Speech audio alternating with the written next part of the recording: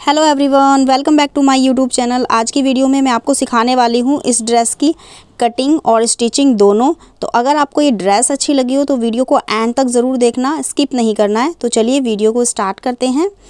इस ड्रेस को बनाने के लिए मैंने लिया है ये डेढ़ मीटर फैब्रिक ये कॉटन का फैब्रिक है और अब हम इसकी कटिंग करेंगे।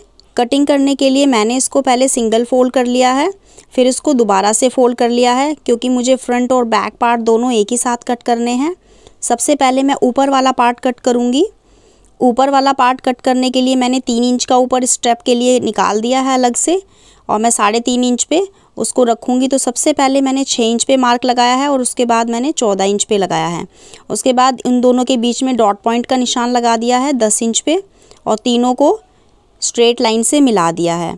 उसके बाद मैं यहाँ से चेस्ट का निशान लगाऊँगी तो चेस्ट है मेरा थर्टी साइज़ और उसी के अकॉर्डिंग मैंने यहाँ पर एट इंच पे निशान लगाया है और ऊपर और नीचे वेस्ट पर मैंने दोनों साइडों में एट एट इंच ही लिया है। उसके बाद मैं यहाँ पर फ्रंट की डॉट डालूँगी। फ्रंट डॉट मैंने डाली है साढ़े तीन इंच पे और ये डॉट मैं डालूँगी एक इंच का हाफ़ हाफ़ इंच दोनों साइडों से मैंने लिया है। उसके बाद मैं आर्मोल कट करूँगी। आर्मोल कट करने के बाद गले की चौड़ाई मैंने ले ली है साढ़े तीन इंच। तो साढ़े तीन इंच पे मुझे स्टेप लगानी है और उसके बाद मैंने डेढ़ इंच की ये पट्टी का मार्क लगा दिया है। अब उसके बाद मैं यहाँ से आर्मोल कट करूँगी। तो ये मैंने आर्मोल कट कर दिया है। उसी में मैं यहाँ पर चार इंच की स्ट्रेप आगे और चार इंच पीछे मुझे ऐड करनी है इसमें। तो इस तरीके से मैंने निशान लगा के एक बार चेक कर लिया है। तो मेरा आर्मोल कितना आएगा। अब मैं चोली को कट कर देती हूँ। अब हमारा जो ऊपर वाला पार्ट है, वो कट हो चुका है। आर्मोल को भी इसी तरीके से कट कर दीजिए। अब जो प्लेटों के निशान हमने लगाए थे, वहाँ पर हम कट लगा लेंगे। और जो ट्रेस व्हीलर होता है, उससे हम दूसरी तरफ़ भी निशान को छाप देंगे, ताकि दोनों साइडों में प्लेट इक्वल आए। प्लेटों के निशान बनाने के बाद मैं बॉटम को कट करूँगी।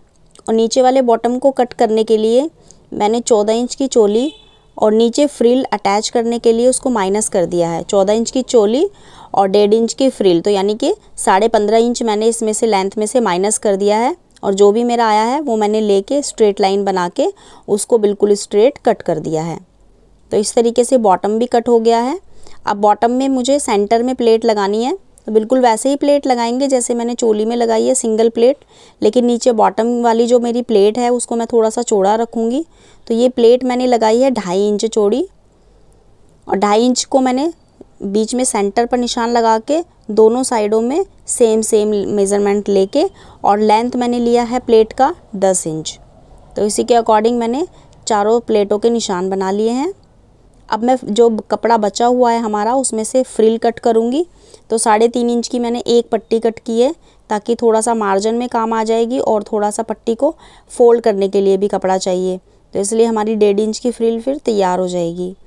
तो दोनों फ्रिल मैंने कटिंग कर ली है फ्रंट और बैक पार्ट के लिए, और ये कपड़ा हमारा बच गया है।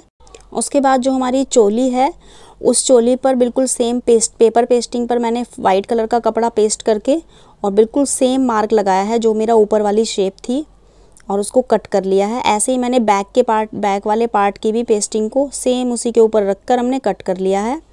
दोनों पेस्टिंग हमारी सेम कट हो गई है और वाइट कलर के कपड़े पे मैंने चिपका भी दी है उसको। अब मैं जो शोल्डर वाली पट्टी है उसको रेडी करूँगी। उसके लिए मैंने तीन इंच की ये पट्टी ली है और उस पर एक पैर की सिलाई लगा के उस, उसको पलट दिया है। फ्रेंड्स अगर आप मेरे चैनल पर नए हैं तो चैनल को सब्सक्राइब कर, ज़रूर कर लेना, क्योंकि आगे आने वाली वीडियोस बहुत ही इंटरेस्टिंग होने वाली हैं। और इस तरीके से मैंने इस पट्टी को पलट दिया है। पट्टी को पलटने के बाद आप इसको अच्छे से प्रेस कर लेना, ताकि अच्छे से सेट हो जाए। ये हमारी पट्टी पलट गई है। अब मैं इसको अच्छे से आयरन करके चोली में अटैच करूँगी।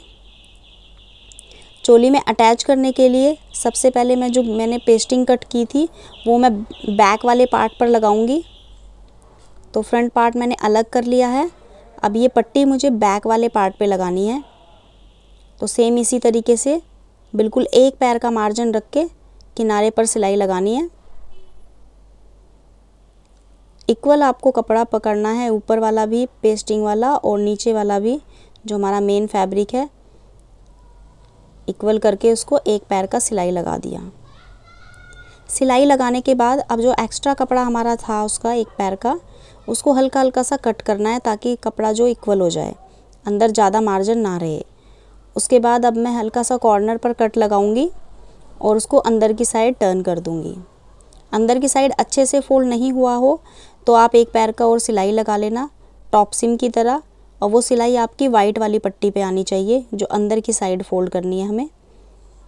इस सिलाई से क्या होता है, हमारी पट्टी अंदर की साइड बहुत आसानी से फोल्ड हो जाती है, और उसमें ना झोल आता है, और बहुत फिनिशिंग से वो टर्न हो जाती है अंदर की साइड अब इस तरीके से हमारा जो टॉप सीम है, वो लग गया है, और हमारा जो बैक पार्ट था, वो भी रेडी हो गया है। अब फ्रंट पार्ट पर मैं क्या करूँगी? जो मैंने पट्टी को रेडी किया था, सबसे पहले मैं वो पट्टी अटैच करूँगी। तो दोनों साइडों में कॉर्नर में पट्टी को अटैच कर दीजिए। क्योंकि हम, मुझे जो फ्रंट वाले पार्ट में पट्टी अटैच करनी है, वो बिल्कुल जैसे गुम पट्टी होती है, वो अंदर की साइड हो जाएगी, बाहर दिखेगी नहीं। अब उसके बाद फिर पेस्टिंग को अटैच करना है। जैसे बैक पार्ट में पेस्टिंग अटैच किया था, बिल्कुल वैसे ही उसी तरीके से हमें इसमें भी फ्रंट पार्ट में पेस्टिंग को अटैच करना है और वैसे ही थोड़ा सा कपड़ा कट करके उसको रेडी कर देना है। अब जो पट्टी थी हमारी शोल्डर वाली, वो मैं आठ इंच पर मार्क लगा दिया है दोनों साइडों में और उसी के पास ये बैक पार्ट वाली पट्टी को जॉइंट कर दिया है।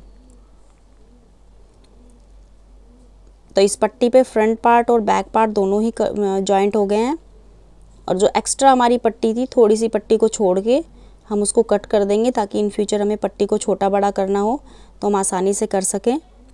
इसीलिए हमने बैक पार्ट पर वो जो पट्टी थी वो गुम नहीं लगाई थी।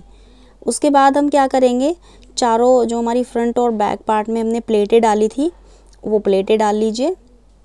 बिल्कुल मार्क के ऊपर ही आपको प्लेट डालनी है फ्रंट और बैक पार्ट में।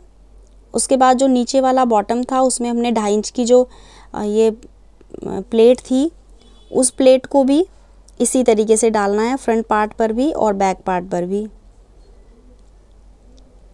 चारों जो प्लेटें हैं, उनको बिल्कुल सेम डिस्टेंस पे और सेम लेंथ में आपको अटैच करना है। मार्क लगा के चारों प्लेटों को आपको अटैच करना है। तो इस तरीके से हमारी चारों प्लेटें डल गई हैं। अब हम क्या करेंगे? इसमें से दोनों जो हमारी चोली है और जो नीचे का बॉटम है, उन दोनों बॉटम और चोली को हम सेंटर पर कट लगाकर जॉइंट कर देंगे। चोली में भी सेंटर में कट लगाएँगे और नीचे वाले में भी, और कट से कट मिला के उसको जॉइंट कर देंगे। तो इस तरीके से हमारी चोली अटैच हो गई है। अब हम फिटिंग वाली सिलाई लगाएँगे। फिटिंग वाली सिलाई बिल्कुल मार्क के ऊपर ही लगानी है, और ये फ्रिल मैंने रेडी कर ली है। अब मैं फ्रिल को अटैच करूँगी। मेरा पूरा जो ऊपर वाला ड्रेस था, वो पूरा रेडी हो गया है और इस पट्टी को भी मैंने अटैच कर दिया है जो हमारा एक्स्ट्रा कपड़ा बचा था। और उसके बाद मैं फ्रिल को अटैच करूँगी। फ्रिल आपको उतनी ही बनानी है जितना आपका पूरा घेरा है। और उसके बाद आप उसको डेकोरेट पट्टी को मैंने अच्छे से बटन लगा के डेकोरेट कर लिया है। तो आप देख सकते हैं कि मेरा जो ड्रेस है, वो बनकर किस तरीके का लग रहा है। मैं आपको पूरा अच्छे से रेडी करने के बाद ड्रेस को अच्छे से दिखाती हूँ, ताकि आप ड्रेस को अच्छे से देख लें कि किस तरीके का लुक आ रहा है लास्ट में। फ्रेंड्स अगर आपको वीडियो अच्छा लगा हो तो वीडियो को लाइक करना ना भूलना। मिलती हूँ आपसे ऐसी ही नई वीडियो में। जल्दी ही, तब तक के लिए बाय बाय